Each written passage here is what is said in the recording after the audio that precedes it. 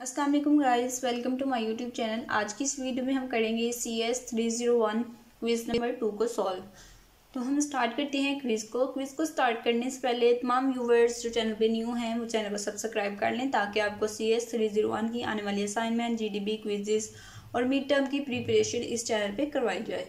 तो हम स्टार्ट करते हैं क्विज़ को। सबसे पहले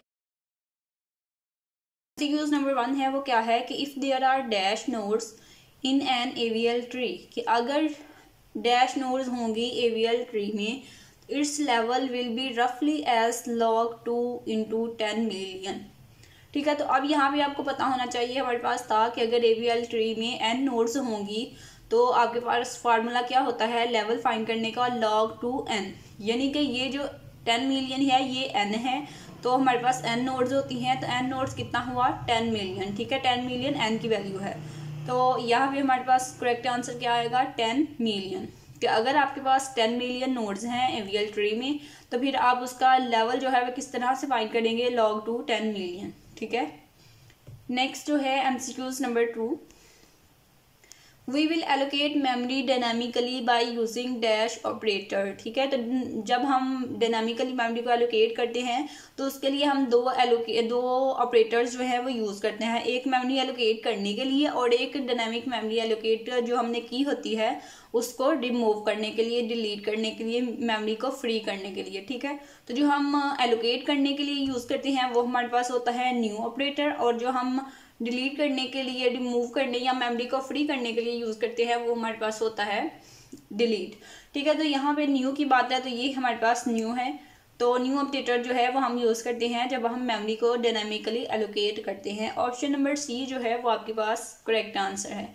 इन क्वेश्चंस को इन एम uh, को याद किया uh, याद कर लिया करें क्योंकि अब जो है आपका मीड टर्म का पेपर होगा तो उसमें आपके twenty seven M C Qs आएँगे ठीक है? तो twenty seven M C Qs जो हैं वो आपके यही एम सी क्यूज़ ही होते हैं क्योंकि ये आपके हैंड आउट से हैं और आपके हैंड आउट से ही एम सी क्यूज़ आने हैं तो उम्मीद है कि इसमें से बहुत से एम सी क्यूज़ जो हैं वो आपको मीड टर्म के पेपर में आएँगे। तो नेक्स्ट जो है वो देखते हैं कि M C Qs number three क्या है। एमसीक्यूज नंबर थ्री क्या है कि level order traversal for binary search tree can be implemented तो लेवल ऑर्डर ट्रांवर्सल जो होता है बाइनरी सर्च ट्री के लिए उसको हम कैसे इम्प्लीमेंट कर सकते हैं? ठीक है या फिर उसको इम्प्लीमेंट करने के लिए हम कौन सा मेथड यूज़ करते हैं? तो ऑप्शंस क्या हैं कि only through non recursive method both recursive and non recursive max heap या फिर रिकर्सिव तो जो हम लेवल ऑर्डर ट्रावर्सल है, उसमें हम यूज़ करते हैं। रिकर्सिव कॉल्स जो हैं, वो यूज़ करते हैं बाइनरी ट्री को सर्च करने के लिए, ठीक है? तो ऑप्शन नंबर डी जो है, वो आपके पास इसका करेक्ट आंसर होगा।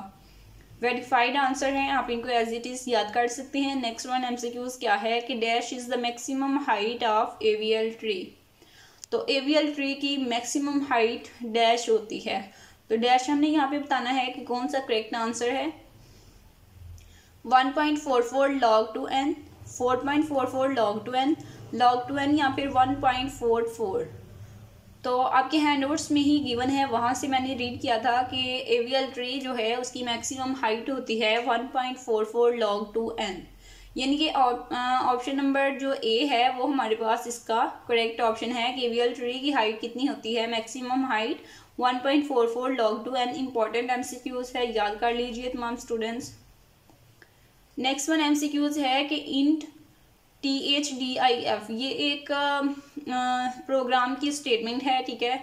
तो इस प्रोग्राम के स्टेट में हमने देखना है और बताना है कि ये इंजर्ट मेथड है। एवीएल में जब हम किसी नोट को इंजर्ट करते हैं तो उसके लिए हम ये लाइन जो है राइट करते हैं। तो इस लाइन में कौन सी यहाँ पे चीज़ जो है वो मिस है, वो हमने यहाँ से बतानी है। कौन सा सिंबल जो है वो मिस है? तो वो सिंबल कौन सा है कि हम क्या करते हैं, हम जो लेफ़्ट रूट होता है रूट का जो लेफ़्ट नोड होता है, उसकी हाइट को हम माइनस करते हैं रूट के राइट नोड की हाइट से, ठीक है? तो यहाँ पे क्या आएगा? माइनस कौन सा साइन कौन सा साइन आएगा? ऑप्शन नंबर बी यानी कि माइनस जो है वो दरमियान में आएगा। आप अपने हैंड में इसको चेकआउट भी कर सकते हैं।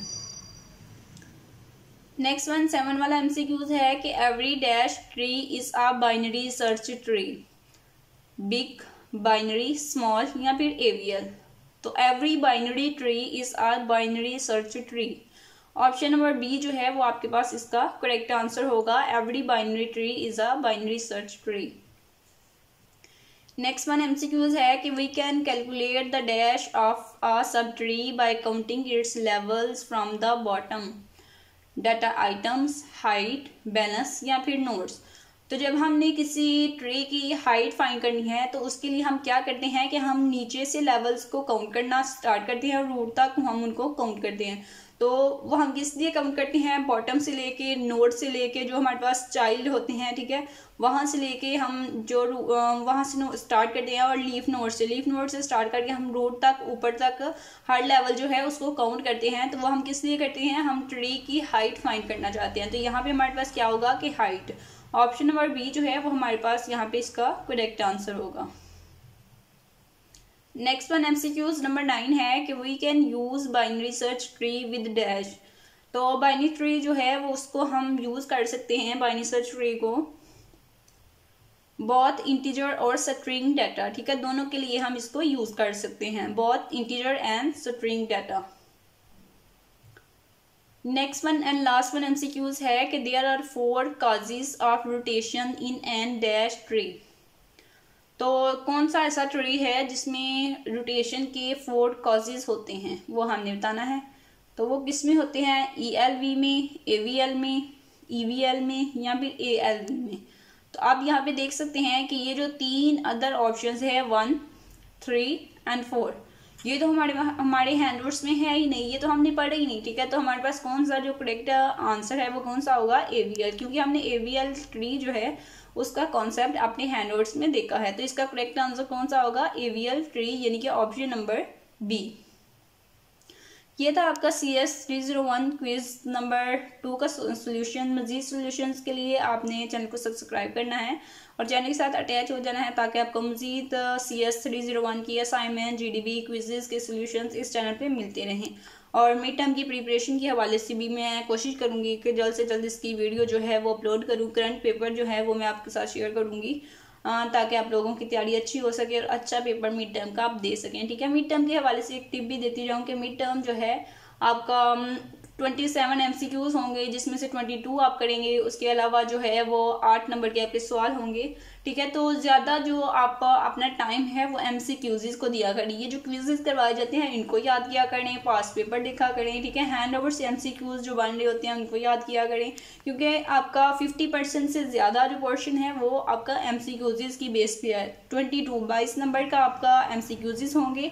और एट नंबर के आपके सवाल होंगे, ठीक है? तो इसलिए एम जो हैं उन पर आपने ज़्यादा टाइम देना है, उनको ज़्यादा अच्छे से प्रिपेयर करना है, ताकि आप अच्छे मार्क्स जो हैं, वो मिड टर्म में गेन कर सकें।